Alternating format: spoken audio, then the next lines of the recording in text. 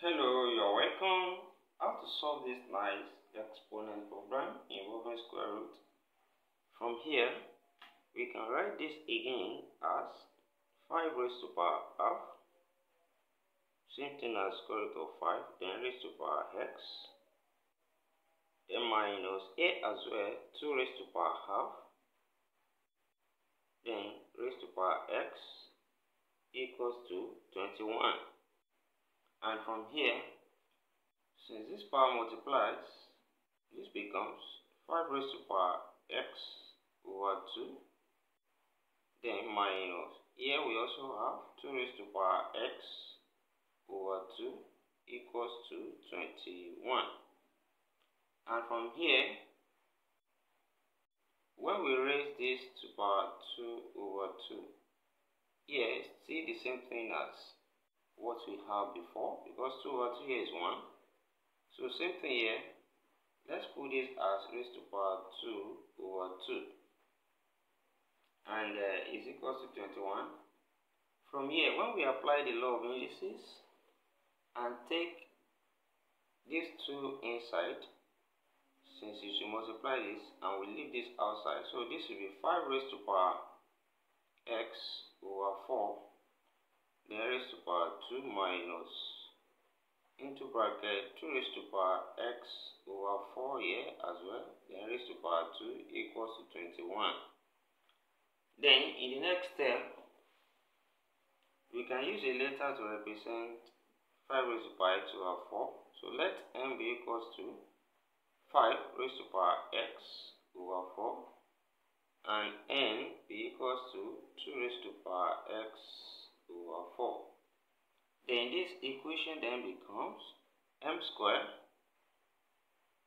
minus n squared equals to 21. And from here we have difference of two squares here, which is now m plus n multiplied by m minus n equals to 21 here. We can write that as 7 times 3. And from here, n plus n greater than n, n minus n. So that means n plus n here will be 7. So we have n plus n here to equals to 7 and n minus n here equals to 3. So when we solve these two equations now to get m and n, so let's add first and this will be 2m so n will have been eliminated. So we have 7 plus 3, that's 10. And divide both sides by 2 from here. 2 cancel out here. We have m equals to 10 over 2, that's 5. So m is 5. Then from one of these equation here, we have m plus n equals to 7. That means 5 plus n equals to 7. Take 5 there. So it means here that n equals to 7 minus 5 that is n equals to 2 from here. So we have n equals to and m equals 5. And from here, let's put it here as m equals to 5. That is, and n equals to 2.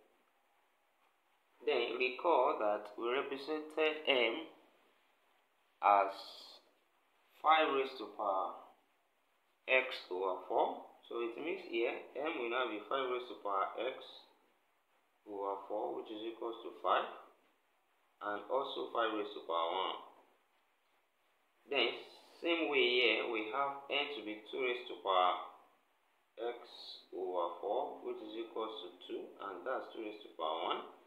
Here we have same base that's x over 4 is equals to 1. Same thing here. We have same base as x over 4 equals to 1. So when we cross multiply here, that means x equals to 4 times 1, which is 4. Similarly here, cross multiply x equals to 4 times 1, which is 4. So in you know the two way we have x equals to 4. And from here, what we are given, let's check to confirm that we have x to be equals to 4 from what we have. here we have root x, root 5 raised to power x minus root 2 raised to power x, and we have x equals to 4. So let's substitute here now. And from here, this becomes root 5 raised to power 4, then minus root 2 raised to power 4 is equal to 21 from here. Then root 5 same thing as 5 raised to power half. Then raised to power 4 minus 2 raised to power half. Then raised to power 4 is it equal to 21 from here.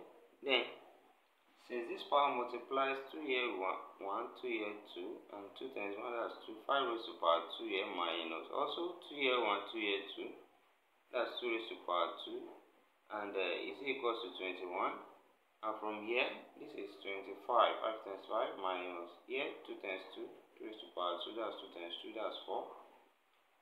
And from here, 25 minus 4, that's 21, which is equals to 21. Left hand side equals to right hand side. Hence, we can conclude that x equals to 4 satisfies the given problem. And thank you for watching. Don't forget the steps. Subscribe for more exciting videos. Turn on the notification bell. Share this video and give it a thumbs up and then put your comment in the comment section. See you next class and bye for now